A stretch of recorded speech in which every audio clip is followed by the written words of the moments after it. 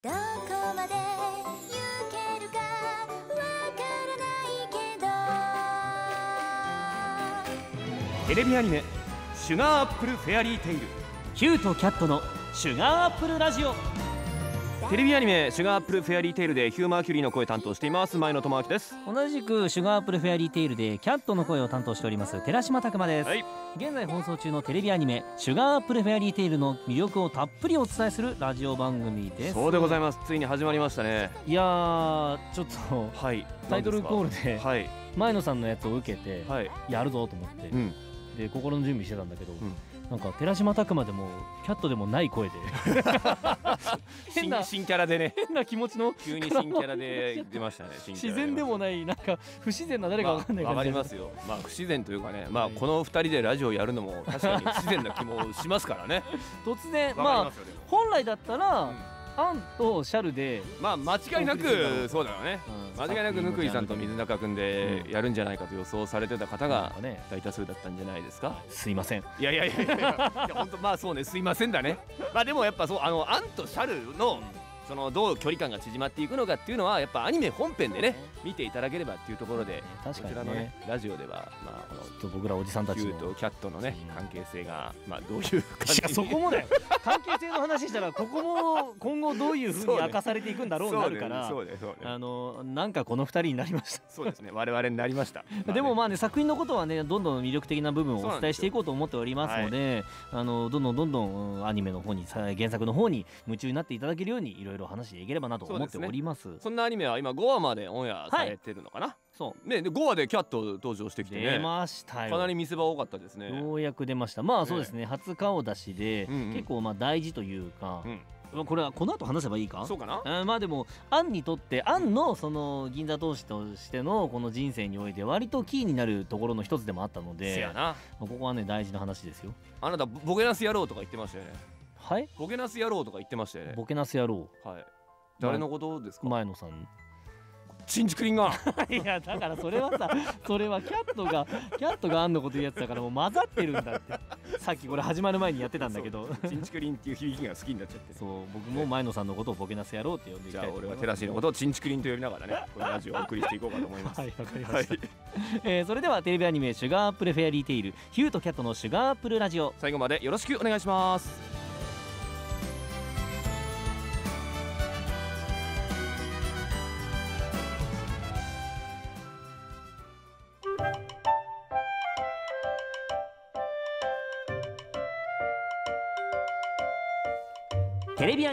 シュガーアップルフェアリーテイル。ヒューとキャットのシュガーアップルラジオ」まずは改めて作品の紹介をしていきましょう、はい。原作は三川みり先生。原作イラストはあきさんが担当する角川ビーンズ文庫から刊行されている小説「シュガーアップルフェアリーテイル」が原作のアニメです。原作小説は本編と短編集を合わせて17巻がビーンズ文庫から刊行されていてちょうど昨年12月にファン待望の新章「銀座投資と真紅の夜明け」が発売しました。長いですよね、非常にこの息の長い歴史が長いシリーズですので、まあ、当時原あの小説を読んでくださっていて、ああのあれがアニメ化するんだ懐かしいなんて思いで見てくださってる方もいるんじゃなかろうかという。すごいよねこの時を経てアニメ化する、まあアニメ化が全てなわけじゃないけど、うんこうやってまた新しいメディアとして誕生するっていうのはやっぱり当時から応援してくださってるファンの方にとってはすごい嬉しいし、嬉よね。いいサプライズだよね。ねまたねあのアニメで初めて作品知ったって方はねその歴史を遡ってね、そちらの小説の方もね楽しんでいただけるといううん。そういった展開しておりますからね、はいはい、先ほど少し話しましたけど我々演じるヒューとキャットの関係性についてもまだここでは言えない部分が原作で描かれていたりする、うん。なるほど。まあそのちょっとだけねね。あの5話の最後でまあねマーキュリー高校はい、でね、で一緒にはで修行してたっていう話から、うん。あだ名をつけられただのいろいろまあのっぴきならない関係なんでしょうっていう感じはしますけど、うん。まあどういう関係性なのかっていうのはね、まあ、小説の方では少し描かれてるということで。しかも小説だとさ、うん。そのアニメとか漫画とかよりももっと事細かに描写を、そうね、そうなのよ、言葉でしてくださっているわけじゃないですか原作は、だからこのもっともっと深いところまで知ることができると思うのでうん。この作品やっぱり心理描写とか結構深いので原作でよりそこを読み解いてもらえると嬉しいなっていう気持ちそうね。はあったりしますね。確かに。わかります。はい、えーじゃああらすじご紹介しますね。はい。人間が妖精を刺激するハイランド王国。少女アンは一流の銀座同士だった母を亡くし後を継ぐことを決意する。私もあ私も銀座同士になりたい。そしてた。くさんの幸せを招く砂糖菓子を作りたいちょっと可愛いなぬくいさんごめん、えー銀座投資とは砂糖りんごの実から聖なる砂糖菓子を作る特別な砂糖菓子職人のこと。うん。年に一度オートで開催される品評会でその腕を認められ王家勲章を授与された者にしか名乗ることが許されない。アンは品評会に参加するため美形だが口の悪い戦士妖精のシャルを用心棒として雇い旅に出る人間に心を閉ざすシャルと友達になりたいと願いながらオートを目指すけれど。どう？ねこいつは楽しみだぜ。え楽しみだぜ。というあらすじそうですとなっていますね。まあ他にもねまあいろんなキャラ出てきますからね、はい。うん。まあそのやっぱりこうある種の冒険探でもああるというか確かにね。取り扱っているテーマが砂糖菓子とかこういうキラッとした可愛らしいものっていう,、うんその裏結構ハードな旅をしている。あのさ結構あの妖精とか砂糖菓子とかが出てきて、きらびやかな世界観なんだけれど、その中でちゃんとその人間の汚い部分とか 人間のそうあの闇の部分とかが結構うデリケートに描かれてるじゃないですか、うん。そこがまたいいっすよね。そうそうそのギャップがすごいんだよね。それが面白い、面白いよね、うん。最初どうでしたか？あの物語に触れた時の最初そのうわすごい綺麗な世界観の話だなと思ったら、まああのね後で言うかもしれませんけどあのジョナスというややつが。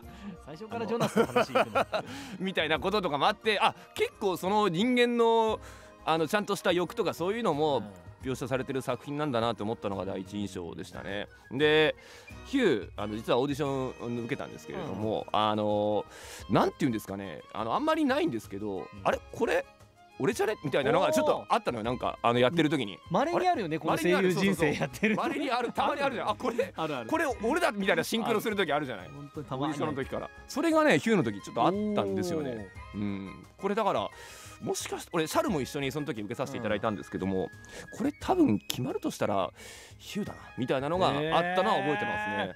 うん、オーディションな何受けたっけな？キャットキャットは受けた。あキャットは受けたけど前野さんみたいなそういう手応えは特になくてうなのその時は。シャルも受けたような気はするけど。キャットぴったりだけどね。やったぜ。なんかこういうなんていうのあの乱暴な言葉遣いしつつも、なんかちょっといろいろ裏では資料深いみたいなねよせやい。とこ れ特番でも言ったんだけどあのあそうなの？ん。特番でもそ特番でも言いましたのよ。あのこういう役テラシ上手だよねみたいな話。えーしました、いいちょっと待ってお財布出すから。なんで？じゃあもっともっともっと褒めるからもっとちょうだいいやもうキャットお前以外考えられなかったんだよマジも。うもうそのもうねいつもテラシーがキャットだなと思ってて。本当嬉しい。あーどんどん甘い言葉が出てきますね。さすがシュガープレリテイルのラジオですはい。ねそんなのでしたけどね、うん、どうどうどうですかテラシーはその何世界観とかやっぱ最初に見た印象とか。あのななんて言うんだろう。すごいこう表現が難しいんだけど、あのこのファンタジーちょっとファンタジー世界観じゃないですかその妖精が出てきたりっていう。うん。このファンタジーの世界の描き方がちょっと独特というか、うんうんうん。うん。だからアニメ見ていただければわかると思うんだけど、うん。なんかなんて言うんだろうね。やっぱりこの砂糖菓子っていうものを扱ってるかわかんないけど、うん。色味だったりとあかね。作品からもうなんていうのにじみ出てくる感じがするんだよねふわっと甘い香りがやっぱりしてくる気するし、うんで音楽とかもすごいいいね。めちゃくちゃ劇版良くない、いいいいいいすげえ劇版もいいそうなのよ。それがなんか見事にその絶妙なバランス出てきてて、これまさにお菓子だなっていう。お菓子ってさ分量少しでも間違えると大変なことになった大変りするなことになる。難しいんだよ。あんまり作ったこと僕ないけど、うん。だからそういう感じですごいいいバランスで作られてる作品なんだなと思ってなんかアニメ化するチームがうん。原原作すごく大事にしてるんだなって、思いましたね。わかります、うん。ね劇版もそうだし作画もすごく綺麗だよね、うん綺麗。一話見た時ぶったまげたしな。あのい色とかその仕上げの効果とかがすごくって、うんすごい。特にあのー砂糖菓子のこの作品たちが、うんうんもうもうすごい美しさじゃない？かる。それはもうオープニングとかからも見て取れるけど、うん。すごい気合の入り方というか、まあ、単純に気合入ってるっていうだけじゃなくて、ね。ものすごく丁寧に作られているんだなっていうのを感じましたね。スタッ。フの皆さんの、ね、熱量をやっぱ感じますよね。感じる。ちょっとね熱すぎるとねお菓子溶けちゃうんでね。ね。気をつけていただきたい。そうね。熱すぎて溶けちゃうからね。はい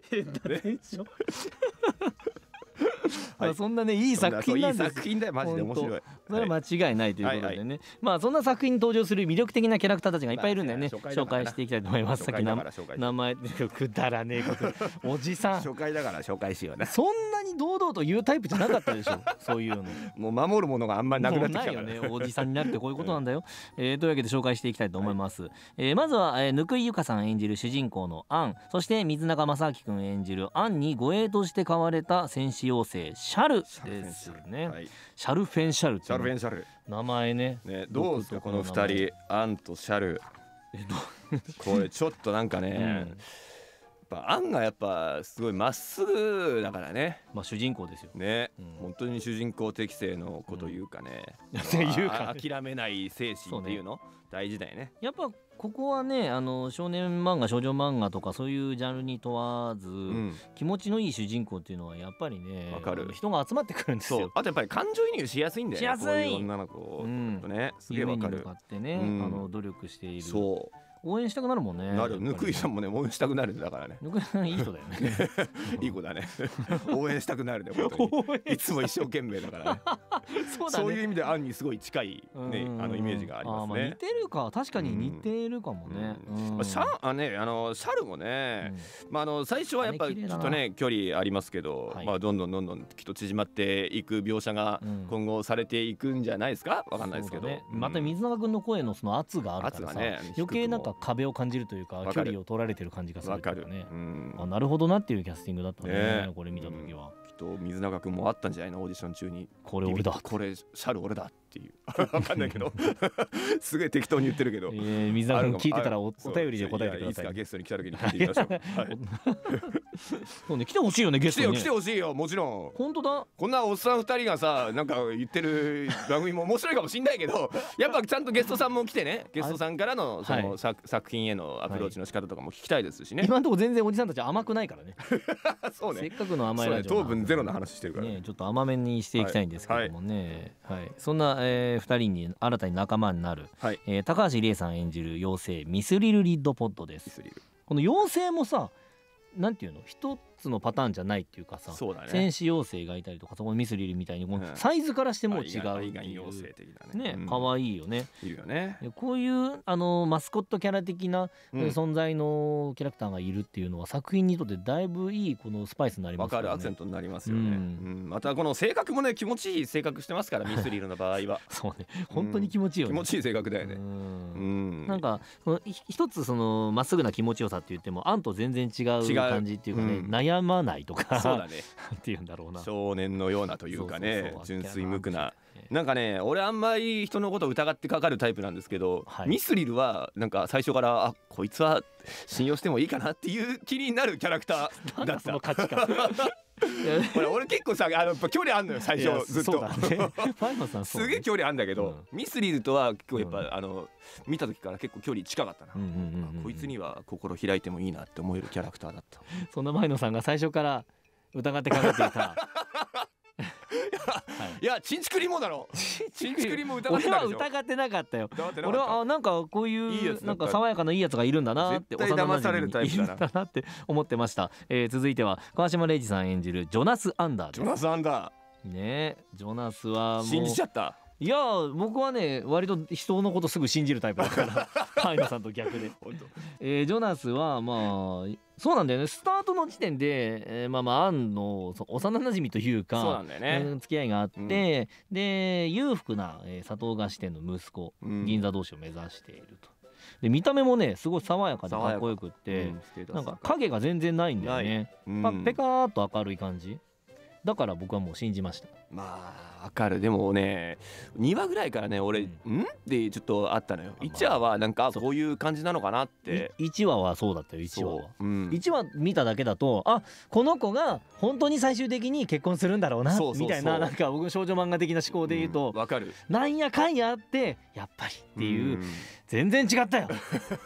そうだね。3話で表変してましたね。騙されたよもう。騙されましたね。とんとんでもないひどいなんていうのそのひどさがなんか生わ々しい。うん、でもね あの多分ね根はそんなに悪いやつではないはずなのよ。そうだよね。ね。うん。まあ、今後そういうのがどういうふうに描かれていくのかっていうところも楽しみにしててほしいんいですけども。やー注目してほしい。よ俺は結構ジョナス注目してほしい俺もだからねこの作品における結構一つのキーってジョナスだと俺も思ってるから、思うね。ジョナスの今後にもねちょっとぜひ注目してほしいですね。スタート地点アンと一緒だからね。そうなんですよ。そういう意味で言うとね。んステータスも高いしね。うわーちょっと僕らはね今後の展開も知ってるんでね。はい。ちょっとねこういういろいろ話したくなるんですけどね。オンエアのね方でね皆さん確認していってください。はい。はい。えーそして続いてが前野さん演じるヒュー・マーキュリーです。ヒューマーキュリーやっと言えますよあの謎の男としか言わんでくださいっていう立場で特番の方に出させていただきまして、今回もちょっとそれでお願いします。あのー おそらく銀座と子爵という立場になるっていう、えーことを告知する、あのーそんな将来が僕は今ちょっと予感がします。すげえぼやぼやしてる。謎どう謎ってきっぱり言ってくれた方が良かった。すごい気持ち悪かった。いやいやいまあヒューね。ややっと言って銀座と子爵って言うたやんけよようやくね。ようやく言えたよ。銀座と試着うん、だっていしかもあのー、2話にちょっと出るんですけど、2話喋ってないんで 本格的な出番は3話からっていう感じだったんでね。実はすごいやつってことで。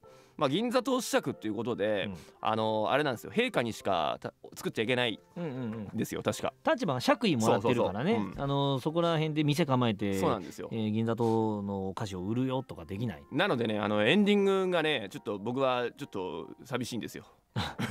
そっか。エンディングね。エンディングエンディングなんかみんなさあのわわっちゃう夫婦しながら作ってる描写あるのに、はい。あんまりやっぱヒューはさ、ねそのね立場的にそういうの見せられないからっていうところで。ちゃんとそこもねあの踏まえた上での映像っていうのもまた考えてくださってますよね。だからねちょっと寂しいですけど。あのエンディング好きなんだよな。エンディングいいよめちねゃくちゃいいのよ。うん。エンディングの最後のカットがすごく好きでわさやっぱ職人の手だよねっていう。うん。手ってすごく素敵な描写だよね。大事だよね。表情がすごい素敵なんだよね。うん。まあそんなヒューですよ。ねまあこんなでもねやっぱひょうひょうとしてる中にもちょっとやっぱ表変してね、まあ、3話でその砂糖菓子を壊すくだりとかありましたけど、怖いね。あの辺のまあ銀座と尺としてちゃんとした立場を守るっていうなんかねギャップを意識してお芝居させていただいてます。すごく楽しい。やっぱねそういう立場がある人っていうのはねそう厳しくなきゃいけないんだよね。なんかそう切り替わるスイッチみたいなのがね、うん。やっぱあるよね、それができるかできないかでこういう立場に行けるかどうかっていうのが変わってくるから。そうですね。それをねやっぱ前野さんにやらせたっていうのはね見事ですね。おいよせ相手らしい。いくら欲しいんだ？やった。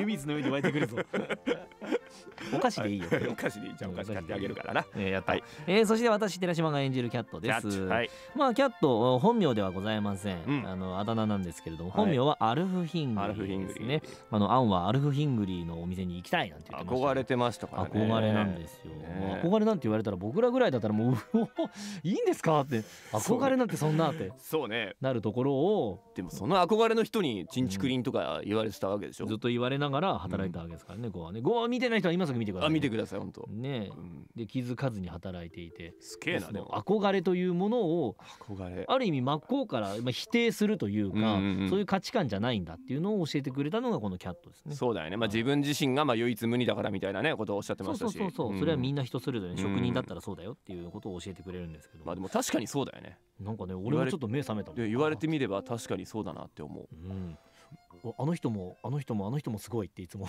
俺もそう俺もこの業界特に憧れだらけやっていう感じだったから。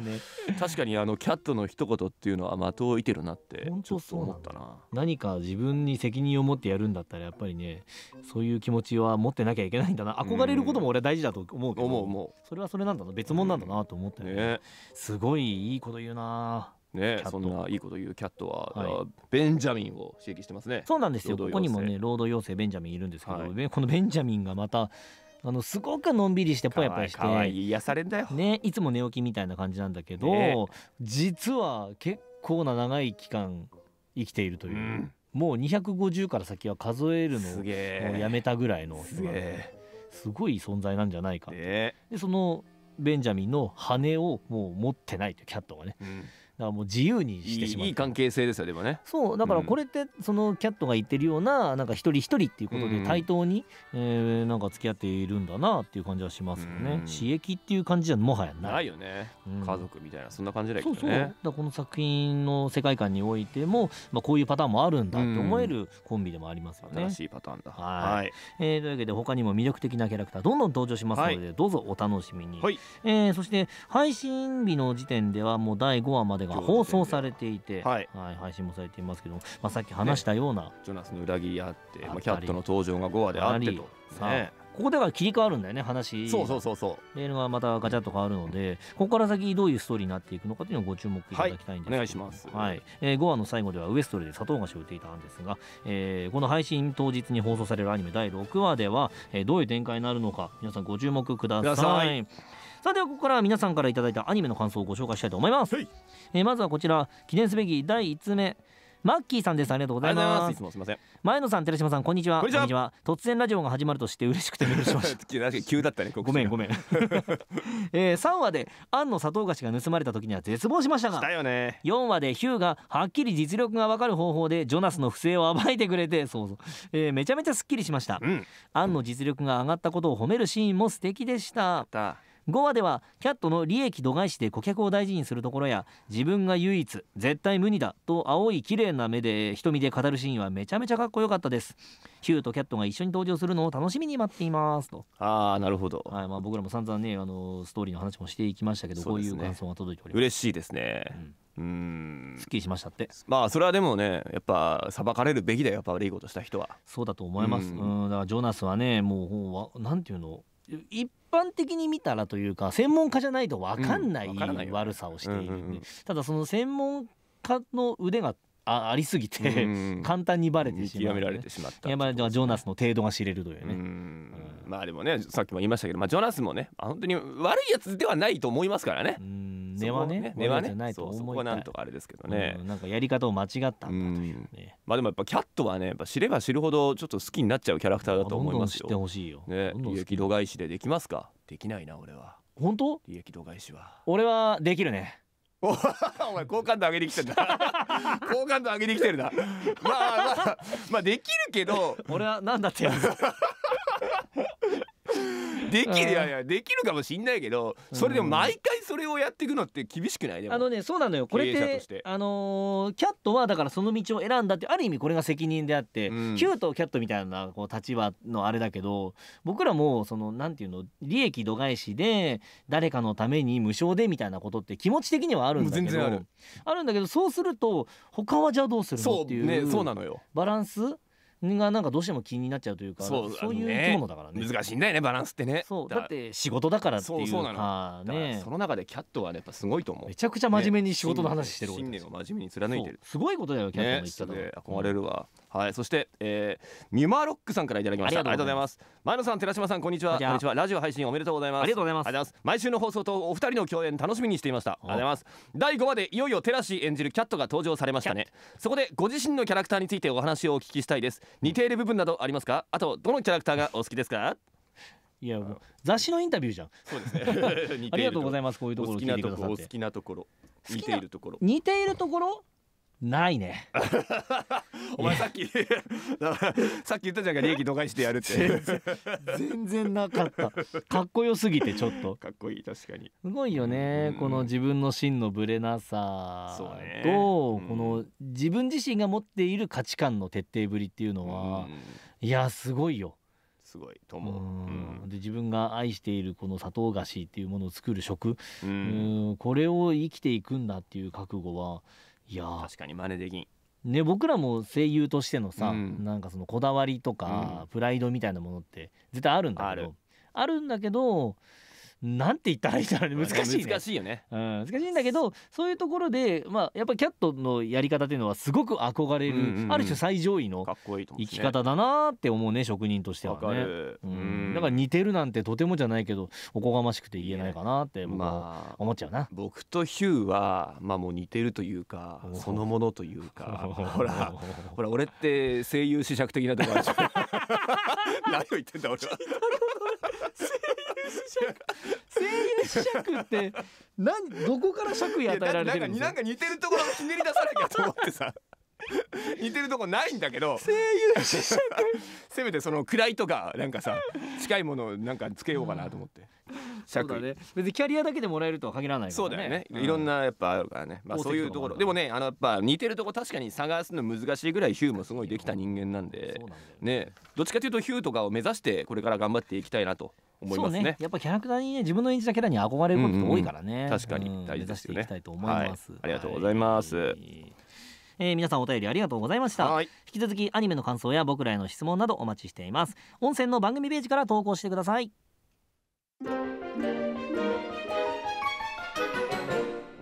シュガーアップルフェアリーテイルのことがもっとよくわかる用語解説。その名の通り作品に関する用語を解説していくミニコーナー今回解説する用語は銀座投資です。銀座投資とは王家から勲章を授与された特別な砂糖菓子職人のこと。年に一度ルイストンで開かれる砂糖菓子品評会で選ばれます。ヒューとキャットのシュガーアップルラジオ。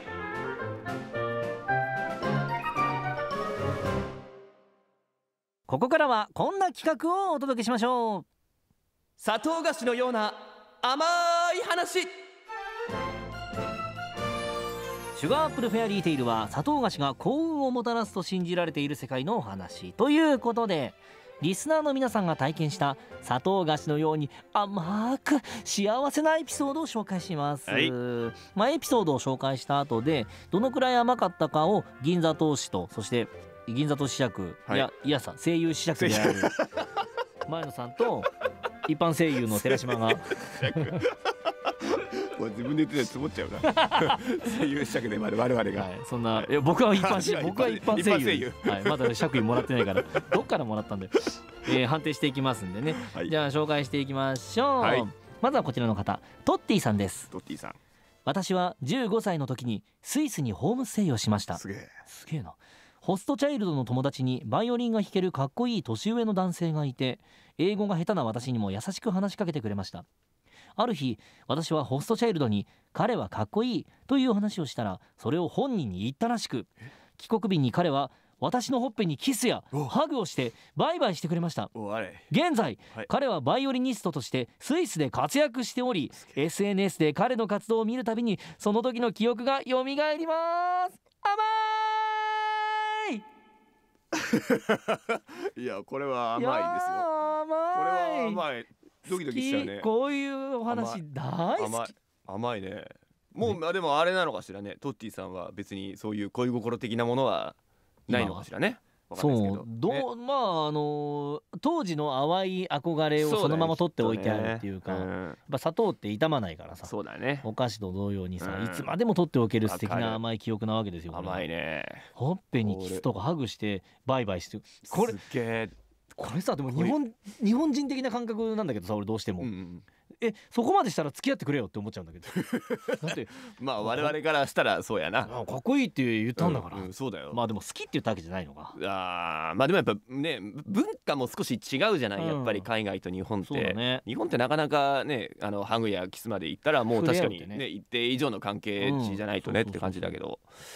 まあでも甘いねこれは。甘い。ドキドキしちゃう。かっこいいなおーこれは甘いですね。これ何何？何何甘いこれ？何？何甘い？何何甘い？俺たちがねうん。お前らみたいなもんは 甘いもん知らんやろあ知らんへん。チョコレートしかわからん。やろうということで、うん。あのースタッフサイドからねいろんなお菓子の名前の一覧をいただきましたよ。何これ？いろいろあるんです。すごいまあ例えばこの書いてあるやつ言うと濃厚な甘みはチョコがぎっしり詰まったブラウニーブラウニー。とか甘いけど少し苦い要素もあるだと焦がしキャラメル。焦がキャラメル焦がしちゃうの？チャイティー。チャイティーってよくわからない俺。チャイティーじゃないっけチャイティーはおあの飲み物のあチャイテティー。あそっちのチャイか。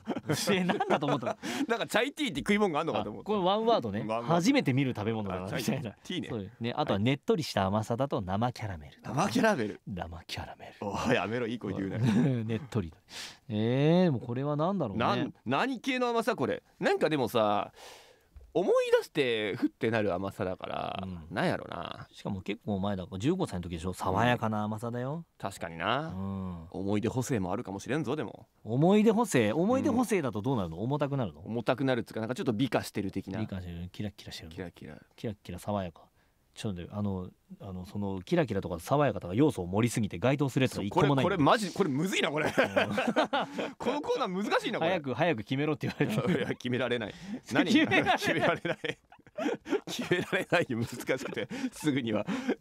だってトッティさんの思い出をね我々このバーであでもこれじゃない？どれ？これだと思うよ。だってこの長いことずっと今でもその記憶を楽しめてるわけだから、そういうことはやっぱこれだよ。どれ？このエピソードの、あえー甘さはどれ？長く続く甘さ。これだ！キャンディー。キャンディーだ！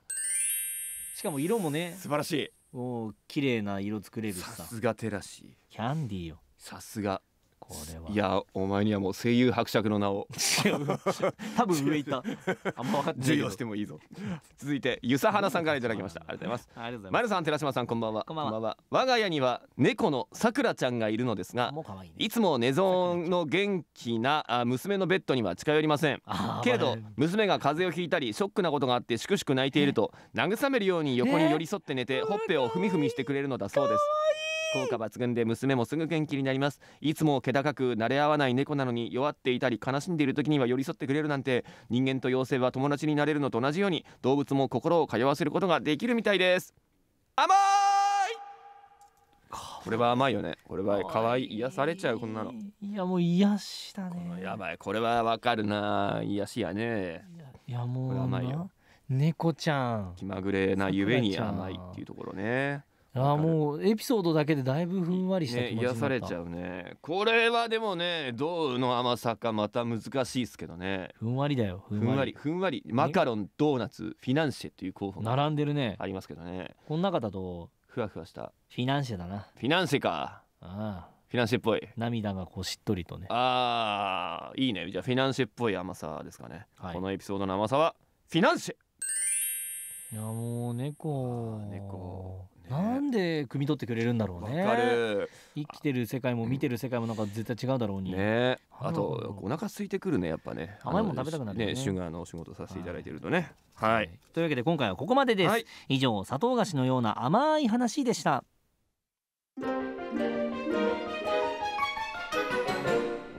シュガーアップルフェアリーテイルのことがもっとよくわかる用語解説。今回解説する用語は砂糖リンゴです砂糖リンゴとは砂糖菓子を作るのに必要な銀砂糖の原料です。砂糖リンゴから銀砂糖を作るのには3日はかかります。ヒューとキャットのシュガーアップルラジオ。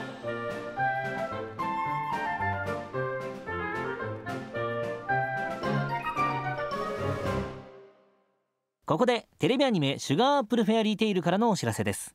テレビアニメ「シュガーアップルフェアリーテイル」は ATX 東京 MX BS 朝日サンテレビ KBS 京都にて好評放送中。D アニメストア DMMTV にて地上波先行最速配信。その他サイトでも順次配信中です。続いて音楽情報です。鈴木みのりさんが歌うオープニングテーマ「ミュージカル」と諸星すみれさんが歌うエンディングテーマ「カナエル」の CD が好評発売中です。さらに本作の劇版を収録したサントラ CD が3月22日に発売です。続いてパッケージ情報ですブルーレイ &DVD 第1巻は4月26日に発売です。初回生産特典には三川みり先生の書き下ろし小説やアニメ書き下ろしデジパックさらに録り下ろしドラマ CD 天国の銀砂糖師を付属した豪華仕様になっています。こちらもお楽しみに。最後に書籍情報です。角川ビーンズ文庫より刊行の原作小説最新刊となる「シュガーアップルフェアリーテイル銀砂糖師と深紅の夜明け」が発売中です。さらに読者アンケートによってテーマを決定した書き下ろし短編を収録した完全版となる単行本「シュガーアップルフェアリーテイルコレクターズエディション」が2巻まで好評発売中です。3巻は3月1日発売予定です。ヤングエースにて夜空のうどんさんによるコミカライズも連載中です。コミックは2巻まで発売中となっておりますのでこちらもアニメ小説と合わせてぜひチェックしてみてください。以上お知らせでした。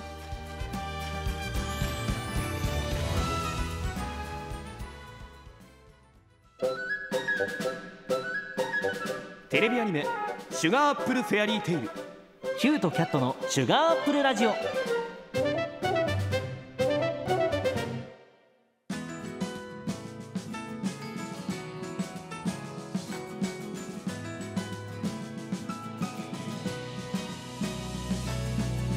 お送りしてきましたテレビアニメ「シュガーアップルフェアリーテイル」ヒューとキャットのシュガーアップルラジオいかがでしたか？前野さん。いかがでしたか？いや楽しかったですけどあっという間ですねやっぱね。なんかさこの最後のこの諸星すみれさんの叶える、はい。乗せてお送りするエンディングがすごい素敵な感じじゃないですか、はい。